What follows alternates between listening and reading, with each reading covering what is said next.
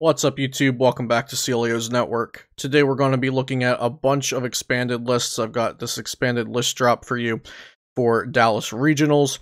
Before we get into the decks, let me just shout out PotownStore.com. You can use code Celio for 5% off there. They specialize in PTCGO codes. They have like every code you could want and they automatically email them out and also flipsidegaming.com. Use code CELIO all caps for 10% off of your next order, $10 or more. So, uh, before we start looking at the lists, I do want to say these lists I've put varying levels of work into. Some of these lists I've made from scratch, others I copy and pasted a recent list from Limitless and made a few changes for Cosmic Eclipse and for the ban list updates. The purpose of these lists is not to have a give you like 30 perfect lists. Um, I think there's about 30 or so decks, maybe a little more, maybe a little less. Uh, um, these aren't perfect lists for the tournament that's in 20 days from now. Um, these are base lists, so if there's an archetype anybody watching wants to build between now and Dallas or even after for fun, you can come back to this video or look in the Google Sheet, which I'll have in the description, and you have a good base list to start out with, so you're not starting out with nothing, a blank 0 out of 60 on PTCGO. And so, like I did mention, I will have a Google Sheet with all of these decks exported from PTCGO in it in the description below, and I'll probably try to do timestamps in the comments as well. Without further ado, let's start from the top. We'll be looking at ADP Dark. So this is Turbo Dark with ADP in it, which is Arceus Dialga. Um, if you don't know what Arceus Dialga does, it's here for its Alter Creation GX. For the rest of this game, your, opponent, your Pokemon's attacks do 30 more damage to your opponent's active Pokemon. If this Pokemon has at least one extra water energy attached to it, uh, when your opponent's active Pokemon is knocked out by damage from those attacks, you take one more prize card. So uh, ADP can work really well with Turbo Dark since you can use double dragon energy to count as both of the energy requirements for Altered Creation GX. Um, in addition to that, double dragon energy counts as two dark energy when you're uh, counting for Dark Pulse, so it makes your attack do more damage. It makes you able to power up Alter Creation GX in just one turn. And then also, uh, we've got uh, a very, very light tag team engine in here. So we do have the Zoro Ninja and the ADPs, and then I have a tag call, I have a Guzma and I have a Malolana. Since Guzma can be good to find you your Chaotic Swell, your Double Dragon Energy, and a Fighting Fury Belt or Floatstone. Floatstone can help you get into ADP um, but you can also use Darkrai EX to get into ADP. So when building this list, maybe you'll go heavier Floatstone, heavier Guzma or you'll just forget about those and you'll just focus on retreating with Darkrai EX. I don't want to spend too much time on any one deck, so on to the next one. Archies. Now, I did say there were going to be varying levels of work put into decks, and Archies is on the very, very low end of that spectrum. I really don't like Archies. If you watch or read any of my content, you'll know that Archies just isn't my thing. I don't really build it, test it, play against it unless a friend or a testing partner really wants to. Um, so I haven't made many changes. I took out the Marshadow Let Looses because they're now banned. I put in Duskull from Cosmic Eclipse because Spiritborn Evolution seems really good for this deck. Once during your turn, you may discard three cards from your hand. If you do, search your deck for a card that evolves from this Pokemon, yada yada. So you don't care about that extra effect. All you care about is once during your turn, you may discard three cards from your hand. So if you have Duskull and four cards, and one of them is an Archie's, then you just empty your hand and play Archie's. So Duskull seems like something you might want to consider. I don't know if people are still going to play the Mewtwo and Mew engine or what they're doing, but I took a list from Limitless uh, from Portland, and I popped Duskull into it, and here we are. So, like I said, I don't like Archie's. Um, I'm not sure how good this list will be, but it is definitely a base list for Archees and I didn't want to leave you guys without an Archie's list because I'm sure I would get comments saying where are the Archies? Uh, so my first of many Baby Necrozma decks, we have got uh, Baby Necrozma with ADP and Garbodor. Um, so I don't personally think ADP is very good in Ultra Necrozma, but I've heard talk about it. I've heard people asking for lists, and here we are.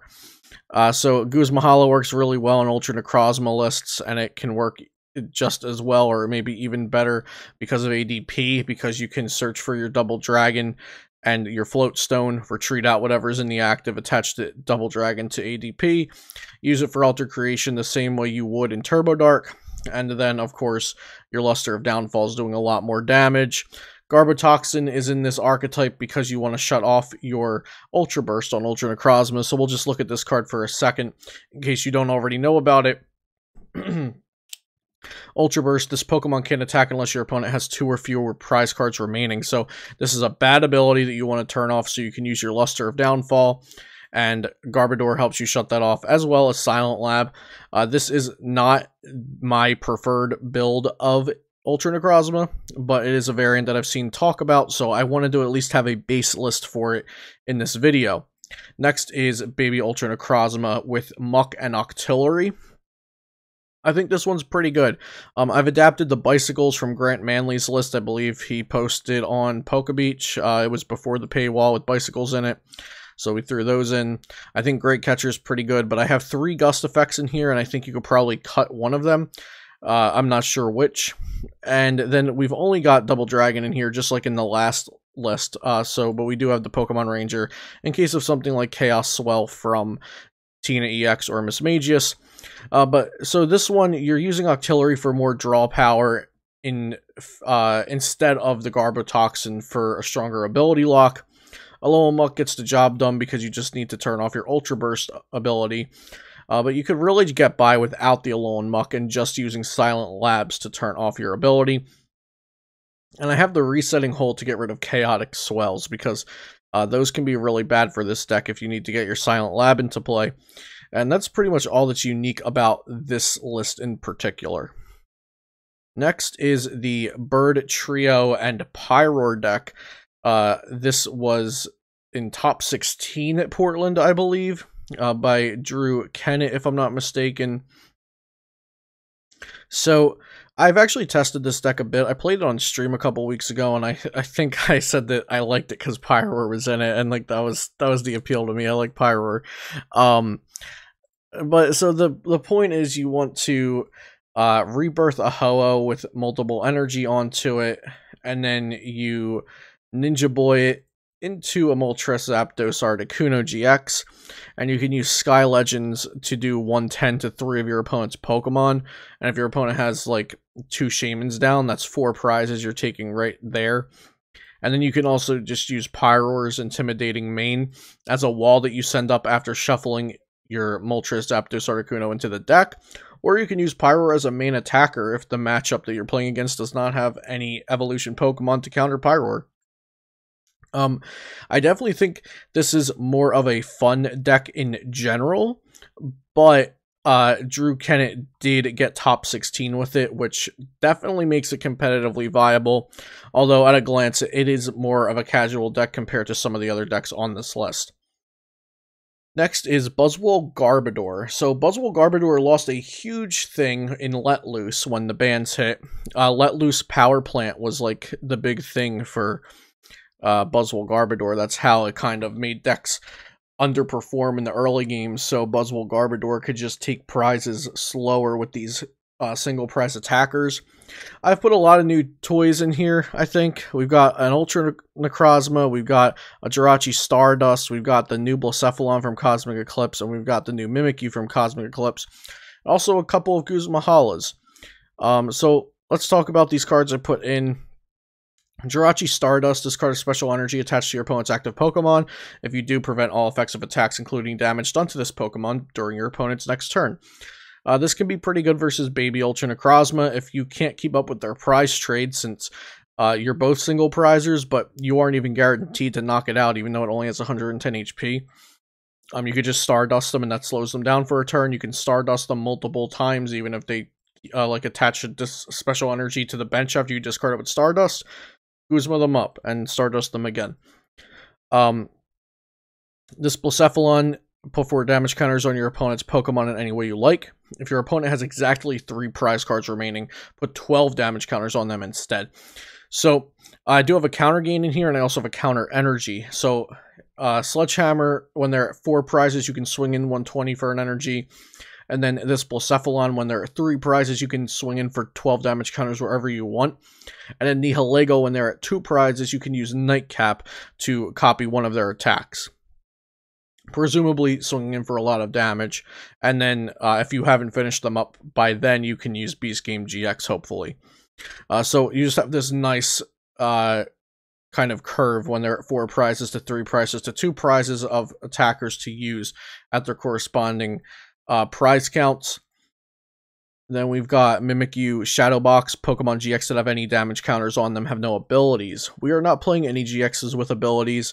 Most decks are, so Mimikyu can really help us, and then we can use Shrine of Punishment. This is kind of a win-win because we're not playing Power Plant anymore, but we're using Mimikyu to do kind of the same thing. And then Shrine of Punishment is also damaging, so it's kind of like we're playing Power Plant, but we're also putting extra damage on the board. Of course, there are pros and cons to this, but uh, I do think Shrine of Punishment, extra damage is great to have with HP getting higher and higher all the time. And our Pokemon don't do a ton of damage at the base of their attacks. We do have Trashalanche still, just a 3-2 line. Yeah, 3-2 line. Um, if they do empty their hand and put a bunch of trainers and items, a bunch of items into the, into their discard pile over the course of the game, Garbodor can be really good. Um, and Ultra Necrozma, since I'm playing the counter energy, so we can use counter energy for Blacephalon or Ultra. Uh, Luster of Downfall for 170 discard energy really isn't too bad if they already have um, an ability lock on us with Silent Lab or with Garbodor, Garbotoxin. We can use Ultra Necrozma and use that ability lock to our advantage. If they don't, we can just wait until they're at two or fewer prizes. So maybe after Nihilego and they're at two, they knock out the Nihilego we go in with the Ultra Necrozma when they're at one and maybe win the game. Or even just do 170 and discard the energy and then they can't attack next turn and we end up winning because of that. So it's a cute option to try out. I'm not sure if it's great yet.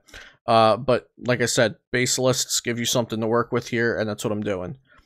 Uh, next is Celosaur. I actually surprisingly put some time into this one and tried to make this list pretty good. Um, I'm not sure if it's after the work I did put into it. I'm still not convinced if it's any better than any other tanky deck like Guardian or Eggrow or anything like that. Um, I like the fact that you can sit behind Wobbuffet, kind of like a Primal Groudon deck.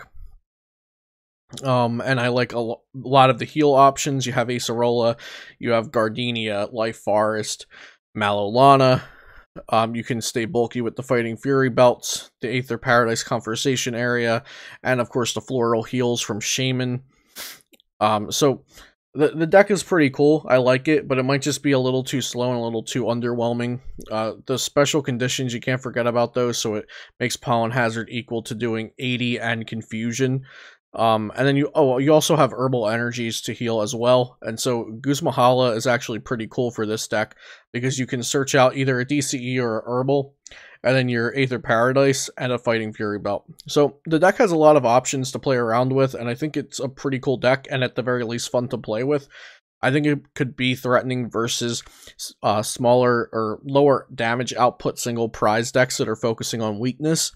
Because fire weakness isn't something that a ton of decks are focusing on right now. A lot of single prize decks want to hit for like fighting weakness to take out Zoroark decks and Turbo Dark decks.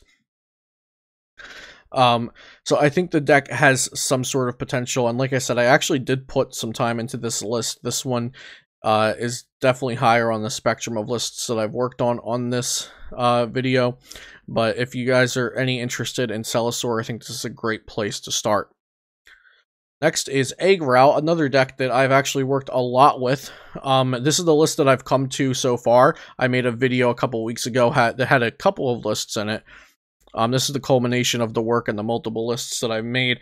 I ended up keeping the one Vileplume GX because I think Massive Bloom is a really good attacker uh, for Eggrow counters. Like it can just uh, one-shot a Pyroar and the Pyroar doesn't one-shot it back. Um, we're playing the three power plant, one lab, one life forest, and then I have a couple healing options: the one Gardenia and the two malolana. Um, I'm not sure if it's actually very well positioned at the time I'm recording this video. It seemed a lot better like a week or two ago, but now it's just a deck that's on the radar, and it's one of those decks that the more on radar it is, the worse it seems. Uh, so I definitely think the deck has good synergy and it's good matchups and some sort of strength going on, but it is not in my top picks at the moment. Uh, but this isn't really a meta discussion. I just want to give you the list. So here's my Eggrow list. Next is Firebox. This one is coming from Ahmed Ali. Uh, he messaged this to me on Facebook, so thanks to him. Um, I think I only made a couple changes, and he also said uh, the list he sent didn't have Jirachi, but he said uh, I could throw it in if I wanted to, and I'm a fan of Jirachi as a baby Necro counter, so here we are with Jirachi. Um, Ahmed Ahmed played a similar deck to Richmond, I believe. I'm not sure about Portland, but he played a similar deck to uh, to Richmond. Um, so if you're a fan of Welder and Zard in Standard, maybe this deck translates well over to Expanded for you. Other than that, I really don't have too much to say on this deck, though. Next is Guardian. I have two Guardian decks for you guys today. Uh, this is the first one. This is without the tag call engine, and the other one will be with other than that, uh, not too many differences. Uh, Mega Lopunny Jigglypuff's a very good card for the deck. Very strong against Turbo Dark. Um, and the whole deck strategy is you just move energy around with Fairy Transfer and heal your Guardians with Max Pots and Acerola or AZ, whichever one you have. And if you're moving energy around, it doesn't matter if it's AZ or Acerola unless you have a tool on it, but that's a different story. So you usually want to use Acerola or, or, Max Potion, but AZ can come into play if um, you need to pick up a Megalop or a Guardian that got stuck active without energy and maybe your ability locked so you can't use Aromatisse. Um, so AZ could work sometimes. Um, but yeah, I think Guardian is actually really great. Um, it's been seeing play at expanded cups that have been happening over the past couple of days. I think it'll continue to see play at cups and continue to get hype uh, leading up to Dallas. So definitely a list that you want to have on the back burner. Definitely a deck you want to have in mind. Um, of course, next is the Guardian with Tag Call I just mentioned, and luckily I just cloned it by mistake. So sorry about that. uh, so we'll have a, an extra Guardian tag call at the end of this list. Uh, so this is the one with tag call in it, like I said. So we got the four tag call, and then I've thrown in, let's see, we got Guzma Hala, Cynthia Caitlin, and Malolana for our tag team supporters. But then tag call also searches out Guardian and Mega Lopunny. So then our uh, ball search engine can be a little different. I only have the one Ultra Ball, but then I have three Level Ball, since Level Ball can search Aromatisse or Spritzee, and getting Aromatisse into play is definitely a big deal. Um, the Malolana in this deck is usually worse than Acerola, but the good thing about it is that it's a searchable supporter, a searchable healing support supporter by uh, tag call. So that's why it's in here. And then, of course, the Guzma Hala I really love because you can get Wonder Energy, Fighting Fury Belt, and then either Power Plant or Silent Lab, whichever one you need. Um, and then Cynthia Caitlin, just a draw supporter that you can search out with tag call in case your hand isn't that great. So again, pretty similar to the last Guardian list, but this one has tag call in it. Uh, so Guru Dolls. This is my stab at this archetype. Um, this is this got a little bit of play at League Cup so far, and I just put together the things I've heard about the deck into this deck. This is untested. It's just my stab at what the list might look like. Uh, so I, I've heard uh, I saw I think I saw Zach Cooper played Hoopa at a League Cup. Um, I have friends that were at the League Cups that things like this were being played at. So I got some uh, opinions on what the counts might be, things like that.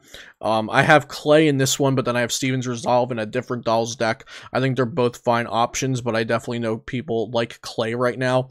And I do think Clay is good for the deck the thing that might stop people from playing these decks is that they're traditionally uh, stall decks are traditionally played with tropical beach and expanded and i do believe these are being played with tropical beach at the moment uh, but you could try it out with other stadiums and see how it works. But I think you'll be at a disadvantage if you're playing, uh, like, if you have the exact list of one of the good players or one of the good lists that players have been using and you substitute Tropical Beach out for other stadiums, you'll be at a disadvantage. Um, yeah, but other than that, take a look at this list. It's uh, it's a control slash stall type deck slash mill, whatever you want it to be. Um, the list has a lot of stuff going on, um, but from what I've gathered and pictures I've seen posted of the decks and the lists and whatnot, this is what I've come up with.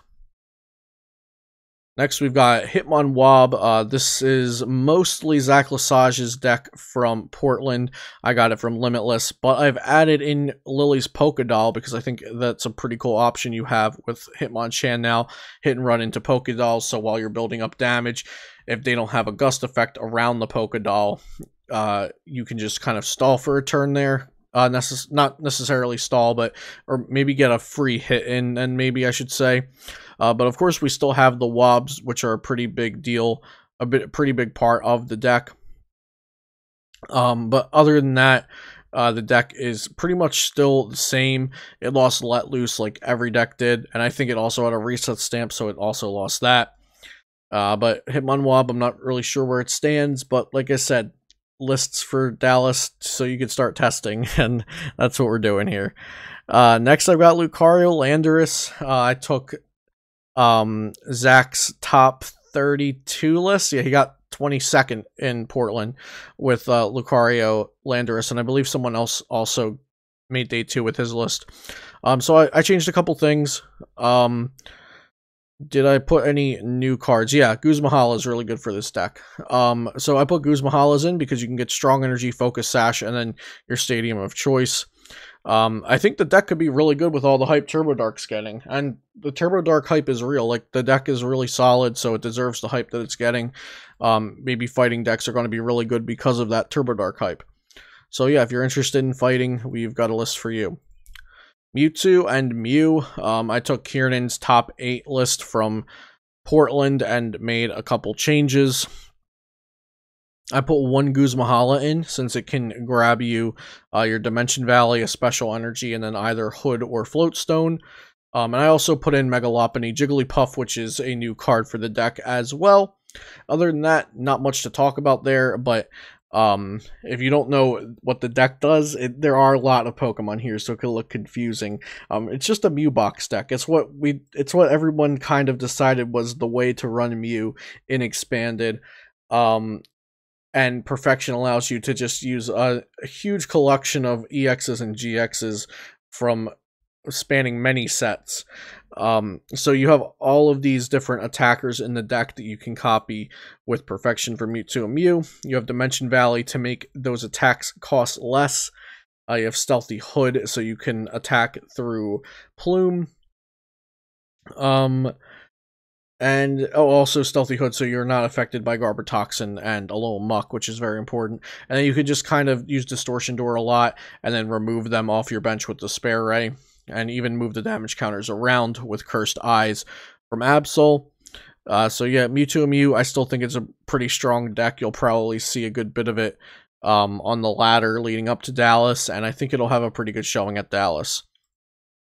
Pyroar Mismagius, created, I believe, by Michael Catron and Isaiah Bradner. Um, and then Gibby Tang Archer played this at Richmond. Did not make day two. I think he lost his win in or something like that.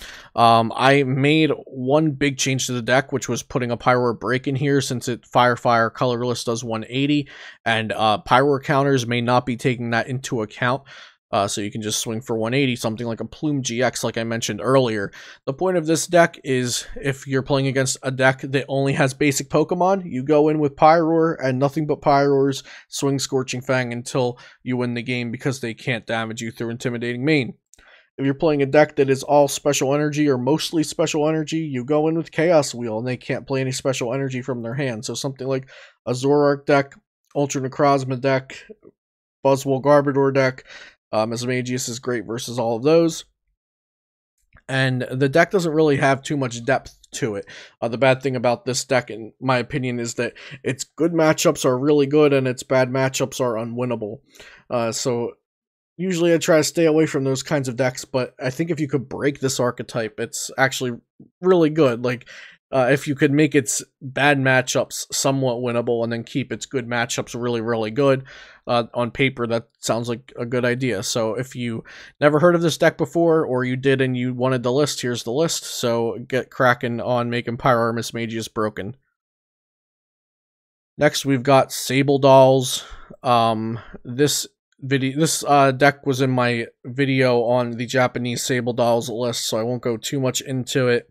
Uh, this was my North American adaptation since there were banned cards in the Japanese version of the list. Uh, but basically, it's like the Guru Dolls list that I showed earlier, um, except like I said, I'm playing Stevens instead of Clay in here. I'm not sure which one is better. Probably experiment with both. Uh, if you're playing this type of deck, the strategy is you just stall out your opponent, make them waste resources, knocking out Lillie's Poke Dolls and substitutes while you mill their deck with Handiwork and Trick Shovel. And then uh, you're just getting back resources with Sableye after the dolls are gone, and you have the the Life Dew Lana's Fishing Rod uh, combo life dew makes uh, your opponent take one less prize card when they knock out one of your Pokemon. So um, these decks are actually getting play at League Cups right now in expanded format, um, and kind of the spotlight's kind of on this right now. Um, so I'm not sure if this can stay good from now until Dallas, since it's already a known thing. But if it wasn't being talked about right now, and like uh, people didn't discover it before Dallas, then I think it could have been a pretty dirty deck for the tournament. Uh, we've got Sable Garb next. So Sable Garb, this is my list for the deck. I actually worked on this quite a bit. Um, I think Sable Sable Garb's still pretty good. I haven't quite broken the deck yet, um, but it's not the same Sable Garb that we were looking at for Richmond and Portland, and you got to remember that. So it's not a hand lock deck anymore. You want to maybe get something stuck in the active, or you just want to exhaust all their resources, whether that be using Get Lost against decks that play out of the discard pile, or just removing all four special energy against double dragon or double colorless energy decks, or even uh, Flare Grunt. Uh, flare grunting away basic energy even can be good. Um, Durant with chip off. Uh, it's kind of like make him pay from Persian from Team Up, except discard cards from your opponent's hand at random until he or she has four cards in her hand, so in his or her hand. So against something like a Zoro Garb deck, where they have huge hands of like 10 to 15 cards, uh, chip off, maybe you hit a double colorless or two, and then uh, maybe you also fobbed them earlier in the turn. So you can get rid of resources really quickly with Durant, especially if they don't know about the card. Um, Bunnelby is nice because it can both put cards, it can get you back resources and it can mill your opponent. So it's really nice because of that. And Garbodor still being in Sableye has its merit because people might expect Sableye decks to not play Garbodor or just less Garbodor in the field because of the Sable Doll decks or the Guru Doll decks. So uh, Garbodor is still very strong. I don't think uh, Garbotoxin should be a card that we ignore at all. Here we've got another Turbo Dark deck, and this one is without ADP. I think Weavile GX is just really solid to have around um, proof as a deck. Uh, so I think keeping Weavile GX is a good idea. Uh, Guzzlord from Cosmic Eclipse with the Red Banquet. It does a 120, and if your opponent's Pokemon is knocked out by damage from this attack, take one more prize card. Uh, this is a really good thing that I've been seeing in Turbo Dark decks. Um, I think it's definitely worth it with Fighting Fury Belt does 130. So like Red Banquet, uh, Guzma up a Shaymin EX, knock it out with Red Banquet. You took three prize cards. Now just knock out one of their tag teams and you win. I think that's really good. So Guzzlord shouldn't be slept on. I think Weavile GX is going to be in most Turbo Dark decks, which kind of scares Eggrow off. Uh, other than that, nothing special. Turbo Dark's a really, really good deck. I think you can build it many ways. There's a lot of dark attackers. There's a lot of trainer counts to do. Uh, you can mess with Chaotic Swells or Skyfields, uh, heavier Dedenne or heavier Shaymin, no Weavile or Weavile, ADP or no ADP. There's a lot you could do with it. I think Turbo Dark's really, really good, and this is one of my lists for it. Uh, Vespiquen, this is a deck that I have not put a lot of time into, but I wanted to have a list for it in this resource for everyone. Uh, so, of course, it will be in the Google Sheet. I really don't have much to say about it. Um, I took Grant Manley's from Portland. Um, I I'm not sure if he was the only Vespiquen in day two there, but I took his from Portland, made a couple changes because it had uh, Marshadow Let Loose in it, I believe. I definitely had to take banned cards out of it, so it was probably Marshadow Let Loose. Yeah, two of those I think. Um, so I made a couple changes, but nothing too drastic. I put Great Catcher in. It's a new card from Cosmic Eclipse that the deck didn't have the last time it was played. Um, I don't have a lot of experience with Vespiquen, nor do I have a lot to say about this deck uh, specifically. So on to the next one. Zorogarb, I put out a video last week or so with Zorogarb in it. Um, I haven't changed it since then, so it's the same list if you watched that video as well. If you didn't, go back and watch that video because there's some things worth hearing about Zorogarb and about early lists and early techs and metas in general. Um, so this is a very teched out version of Zorogarb. It has Bisharp for Guardian, it has Mega Lopunny for Turbo Dark, it has Jirachi for um, Baby Ultra Necrozma. It has Oricorio for Night March and Vespiquen. A lot of techs. Guzmahala is a great new card for Zorogarb. I don't really have anything else to say about it. Like I said, if you're interested in Zorogarb, go back and watch that video that was specifically on Zorogarb.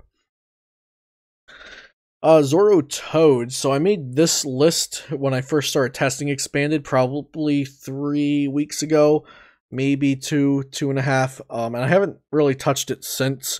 There's actually no new cards from Cosmic Eclipse in it. I just wanted to have a Zorotoad list built in case somebody wanted to test against it, or I got an idea, or I just wanted to play around with it. Uh, so uh, you guys have a Zorotoad deck.